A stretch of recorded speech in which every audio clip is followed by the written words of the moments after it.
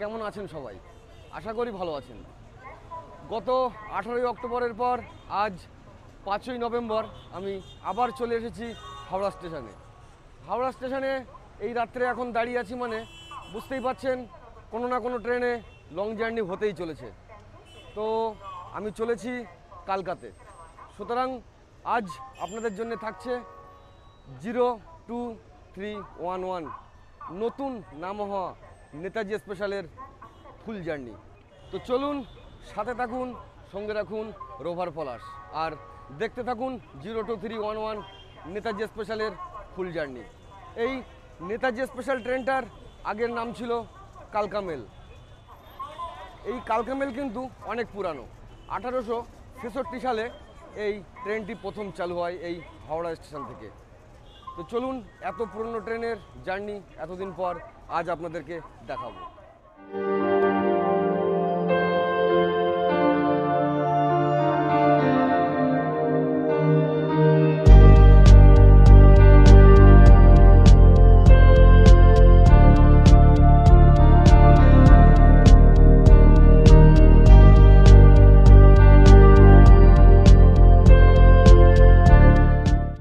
আমি ঢুকে গেছি হাওড়া স্টেশনের মধ্যে আর এনকোয়ারি থেকে জেনে নিলাম যে আমাদের ট্রেন দেবে ন নম্বর প্ল্যাটফর্মে তো চলুন যাই ন নম্বর প্ল্যাটফর্মে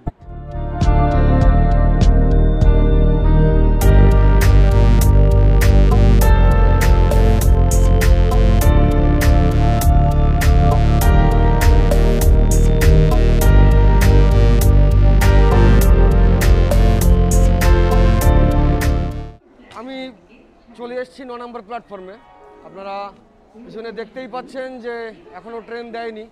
আমরা ওয়েট করছি ট্রেনের জন্যে। ট্রেন এলে ট্রেনে উঠব।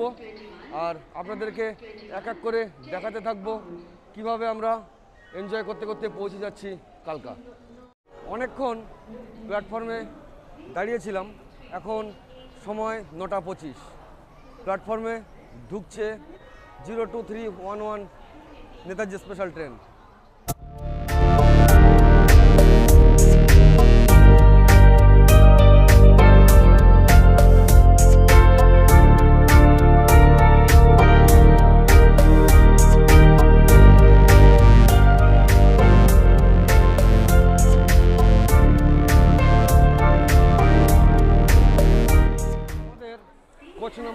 S eleven আমরা এস ইলেভেনের সামনেই দাঁড়িয়ে আছি। একটু ভিড় কমলে তবেই ট্রেনে উঠব। আমি এখন দাঁড়িয়ে আছি হাওড়া কালকা নেতাজি স্পেশাল ট্রেনের সামনে, যার number zero two three one one এই যে ট্রেনটি, এটা আইসিএফ কোচ। যারা ট্রেনের ভিডিও বেশি দেখতে আগ্রহী, তারা নিশ্চয়ই জানেন যে আইসিএফ কোচ আর এলএইচবি কোচের মধ্যে ডিফারেন্স কী? তো এই ট্রেনটা চলে আইসিএফ কোচ দিয়ে। আমরা যাচ্ছি তিনজন, দুজন আমাদের সিটে অলরেডি চলে গেছে। আমি বাইরে দাঁড়িয়ে আছি। প্রচণ্ড ভিড় ছিল, যে কারণে আমি উঠছিলাম না। আমাদের সিট নাম্বার নয়, দশ, এগারো। তো চলুন যাই ট্রেনের ভিতরে।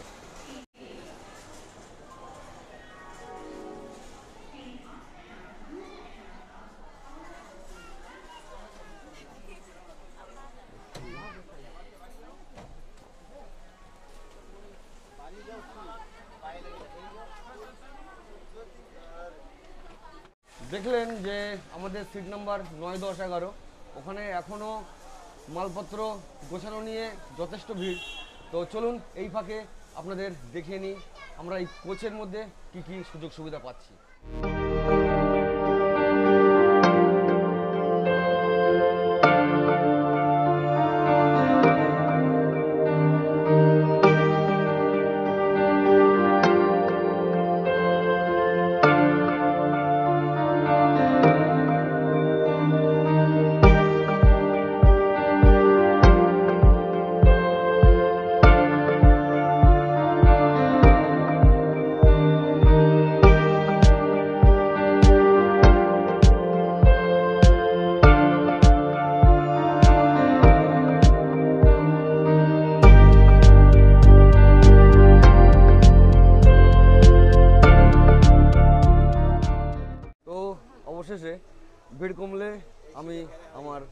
সিটে চলে এলাম।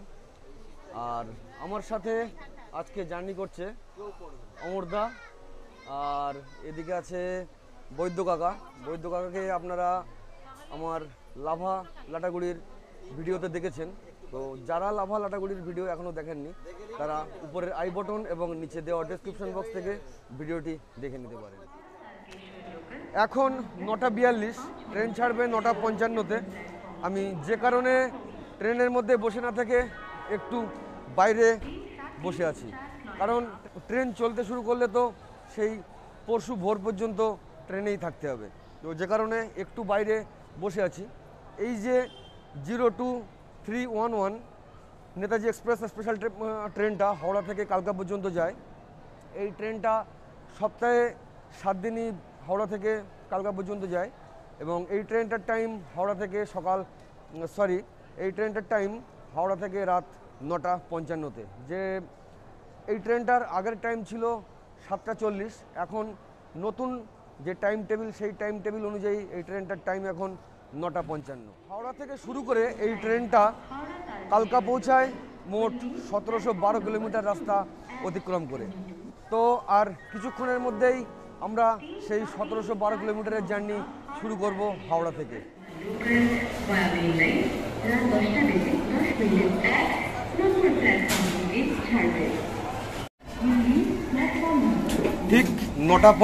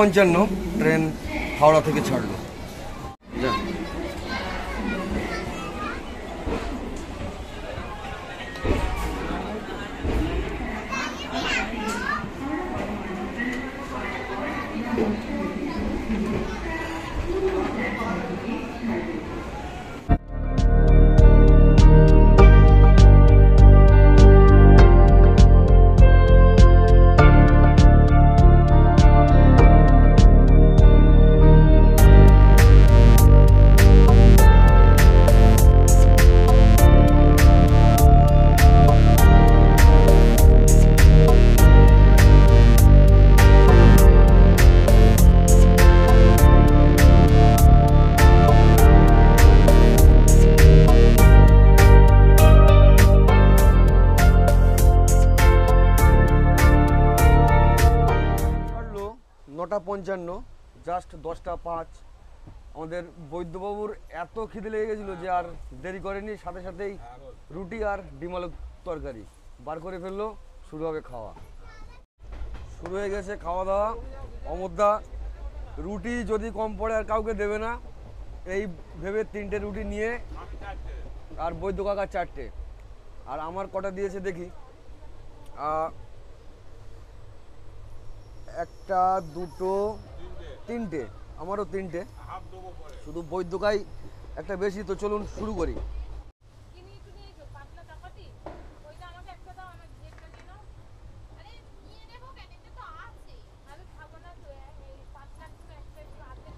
রুটি আর ডিম আলুর তরকারি।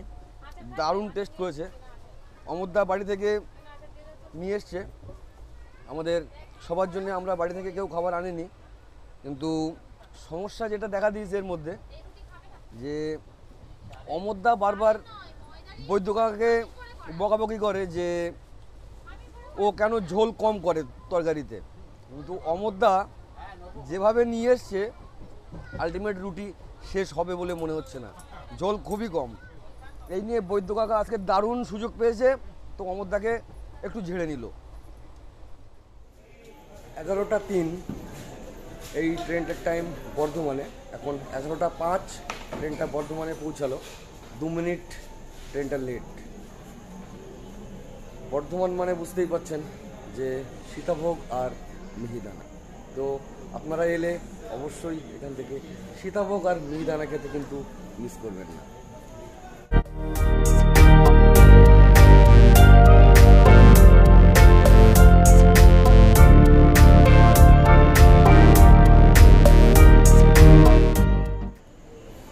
এগারোটা দশ ট্রেন ছাড়লো বর্ধমান থেকে।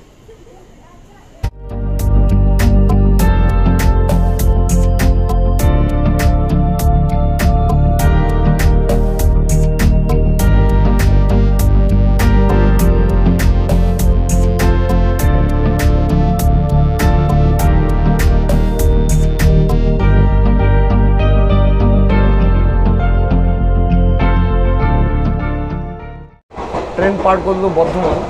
এখন সময় এগারোটা দশ। অ্যাকচুয়ালি ট্রেনে সবাই অনেক তাড়াতাড়ি ঘুমিয়ে পড়ে। তো আমাকেও সেই নিয়ম মেনেই ঘুমিয়ে পড়তে হবে। নইলে সবাই ঘুমিয়ে পড়েছে, আমি একা জেগে থেকেই বা কী করব? তো চলুন, ঘুমিয়ে পড়ি, দেখা হবে আর এক নতুন সকালে। সকাল হয়ে গেছে, সময় এখন সাতটা পঞ্চান্ন। আটটা পাঁচে এই ট্রেনটার মোগলসরাই, অর্থাৎ দীনদয়াল উপাধ্যায় জংশন ঢোকার কথা। এখন সাতটা পঞ্চান্ন ট্রেন ঢুকছে দীনদয়াল উপাধ্যায় জংশন।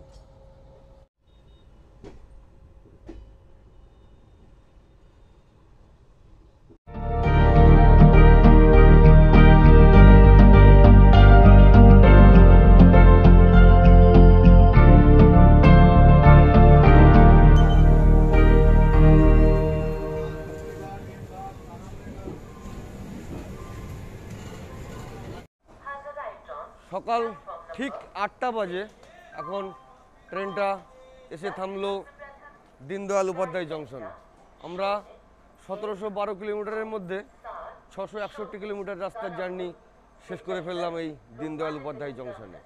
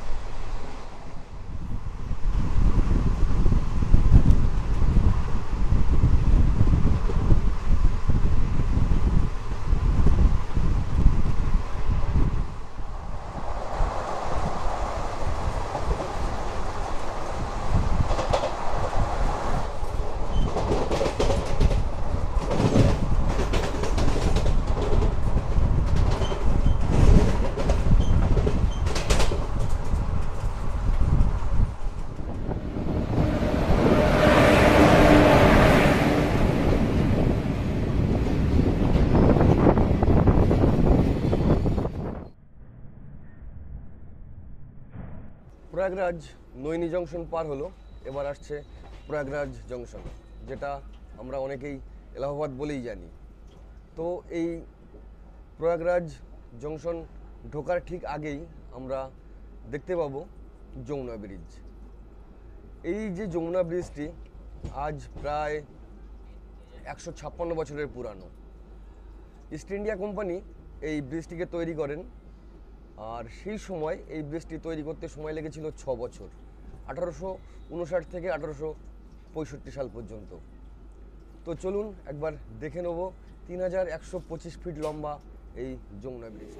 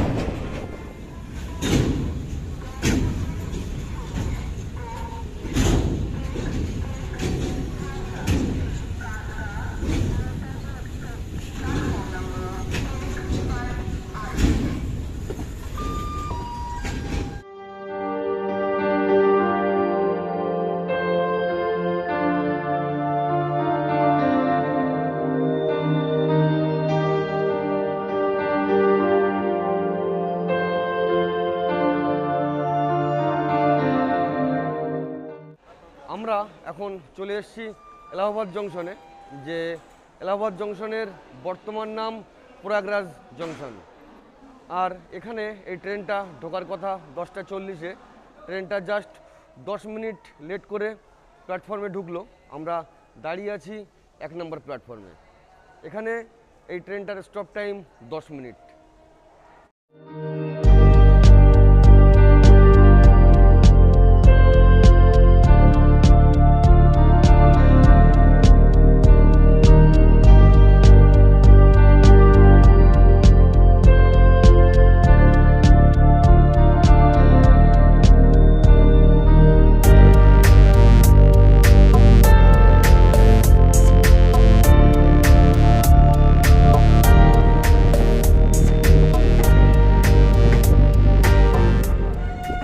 ট্রেন ফতেপুর পার করল। দেড়টার সময় ট্রেনের কানপুর ঢোকার কথা। তো এর মাঝেই আমরা লাঞ্চ সেরে নেব। এখন সময় দুপুরে একটা। আর ট্রেনে লাঞ্চ বলতে আমার যেটা সব থেকে ফেভারিট ট্রেনের ওই আন্ডা বিরিয়ানি। তো আমি একশো টাকা দিয়ে সেই আন্ডা বিরিয়ানি নিয়েছি। চলুন শুরু করি লাঞ্চ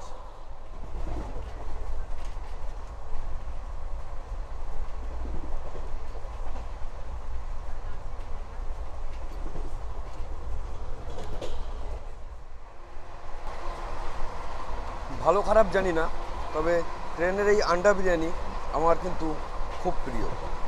তো শুরু করি।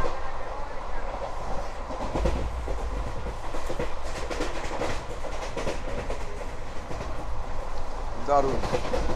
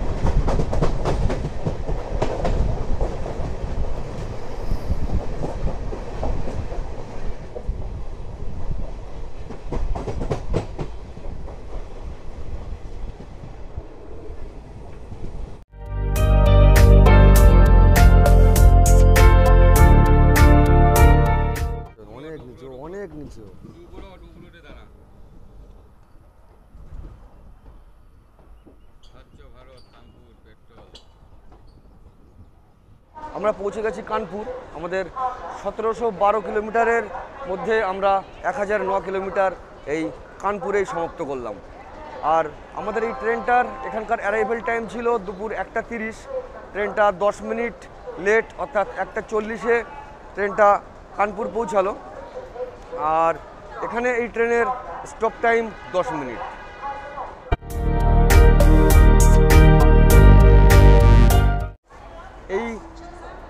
কানপুর। এই শব্দটা শুনলে আমার মনের মধ্যে একটা অজানা অনুভূতি হয়। অজানা অনুভূতিটা এইভাবেই হয় যে অনেক আগে আমরা তখন খুব ছোট, টিভিতে যুগ বলে একটা সিরিয়াল হতো। সেই সিরিয়ালে কানপুরের কিছু সিন দেখানো হয়েছিল। আপনারা যারা যুগ সিরিয়ালটা দেখেছেন, তারা নিশ্চয়ই বীরু, ভীমা, এদের কথা মনে আছে। তো সেই থেকেই আমার কেন জানি না মনে হয় কানপুরের সাথে ভারতের স্বাধীনতা সংগ্রামের এক সম্পর্ক ওতপ্রোতভাবে জড়িত। যে কারণেই আমার এই অনুভূতি। আমি এর আগে কানপুর আসি দু হাজার চার সালে। সেবার যখন রাতে সম্পর্ক্রান্তি এক্সপ্রেসে কানপুর পার হচ্ছিলাম, কোনো এক অজানা অনুভূতিতে আমার চোখ দিয়ে দুপোটা জল গড়িয়ে পড়েছিল। আজ অনেকটা বড় হয়েছি। হয়তো সেই অনুভূতির গভীরতা অতটা নেই, যে কারণে চোখ দিয়ে জল হয়তো গড়াচ্ছে না। কিন্তু কানপুর সম্পর্কে আমার জানার আগ্রহ আজ আরও বেড়ে গেল।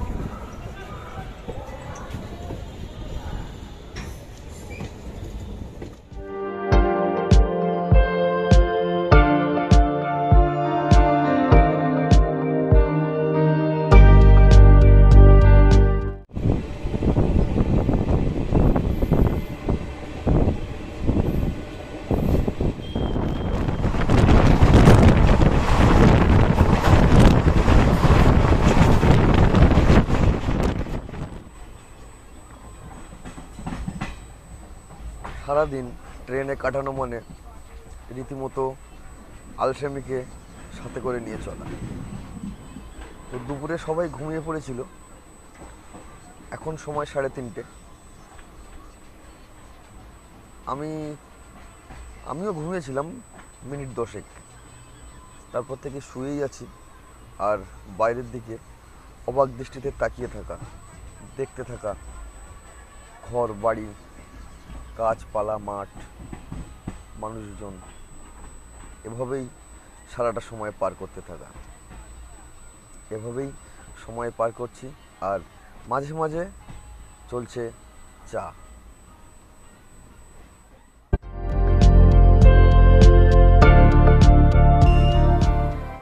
বাইশ মিনিট লেটে এসে পৌঁছালাম ইটোয়া জংশন। এখন তিনটে পঞ্চাশ, তিনটে আঠাশে এই ট্রেনটার এখানে পৌঁছানোর টাইম ছিল।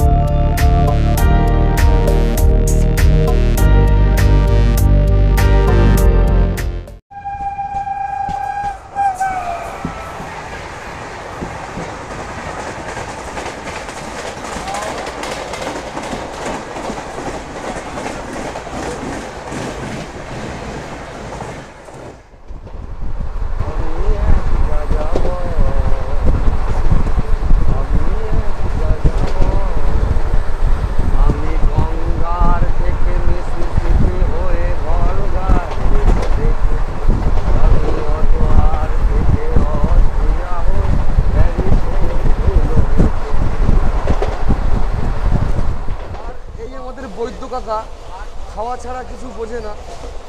সারাদিন ঘুমিয়েই কাটাচ্ছে, দুপুরবেলা খেলো, খাওয়ার পরে ঘুমিয়ে আবার এই এক্ষুনি পেঁয়াজ, আবার এই এক্ষুনি পেঁয়াজ ছাড়াতে বসল, আবার মুড়ি, চানাচুর, পেঁয়াজ দিয়ে খাবে।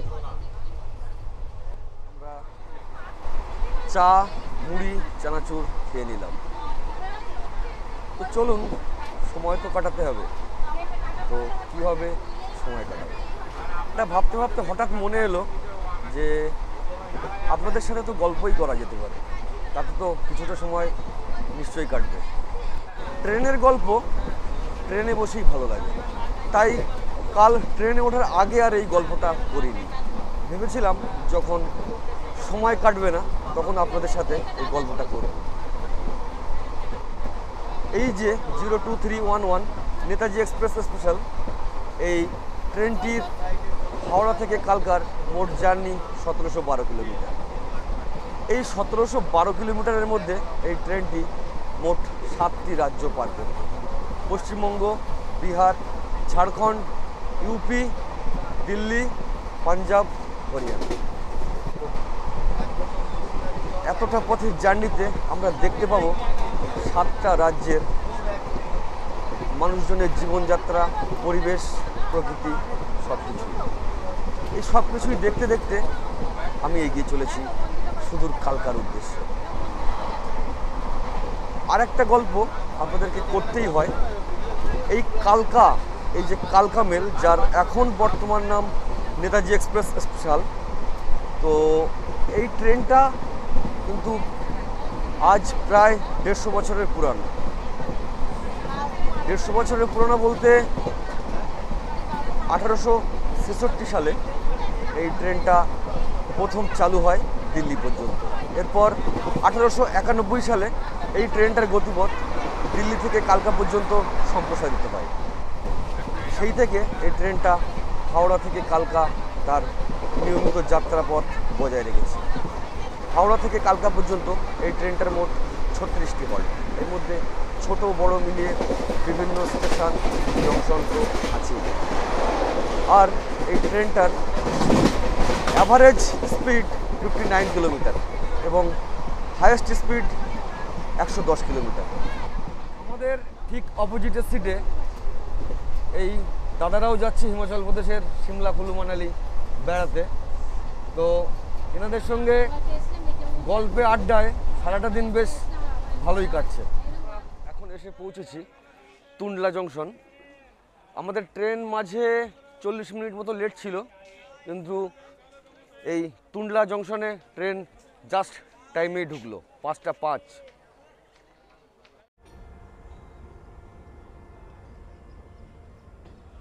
ওটো ওটো আমরা দাঁড়িয়ে আছি তুন্ডলা জংশনে। আমাদের সাথে দেখা হয়ে গেল সেই কলকাতা থেকে আসা Kolkata Bikaner zero two four nine five Kolkata Bikaner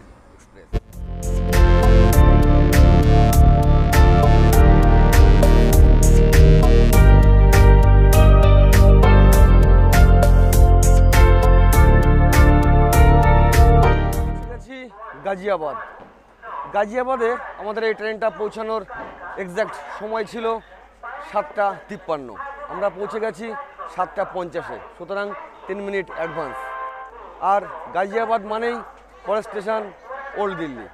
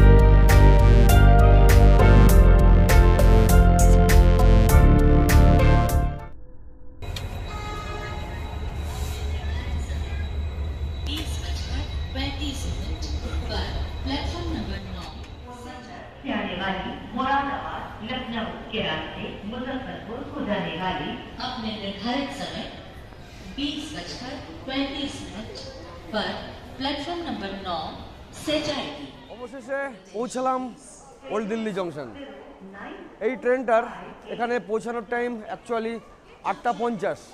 তো আপনারা দেখলেন যে আটটা সাতাশে আমরা ওল্ড দিল্লি ঢুকে গেছি। এবং এই ট্রেনটার এখানে ডিপার্চার টাইম নটা দশ। তো হাতে এখনও অনেকটা টাইম একটু ওল্ড দিল্লি জাংশনটা ঘুরে দেখে নেব।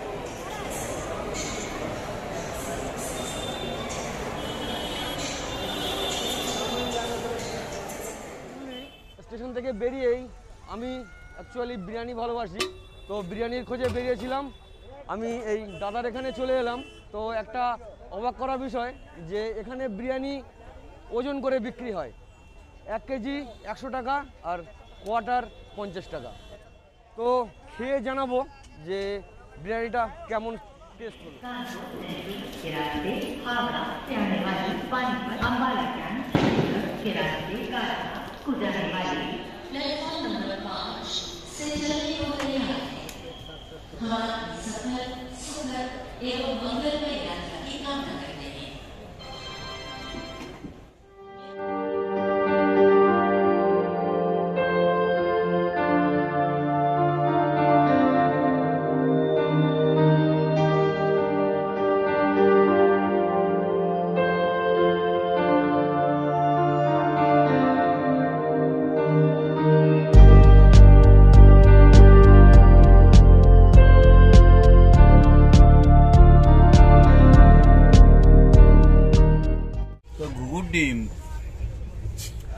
বাইরে থেকে বিরিয়ানি নিলাম।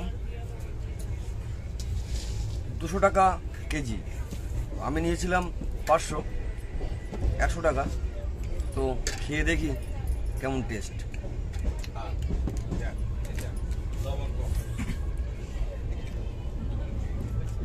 আর লবণ কম হয় চাটনি দিয়ে নে। পরিমাণে অনেকটা বেশি কিন্তু স্বাদে সেই আইআরসিটিসির আন্ডা বিরিয়ানির মতোই। চলুন, যাই হোক, খেতে তো হবেই, খাওয়া শুরু করি। ডিনার করে নিলাম, এবার তার মানে শোবার গলা আর এর মধ্যেই আমরা পার করব বেশ কয়েকটা নামকরা স্টেশন, যেমন পানিপথ, আম্বালা ক্যান্টনমেন্ট, চণ্ডীগড়। তারপর ট্রেন যদি সঠিক টাইমে ঢোকে, তো আমরা তিনটের দিকে পৌঁছাবো কালকা।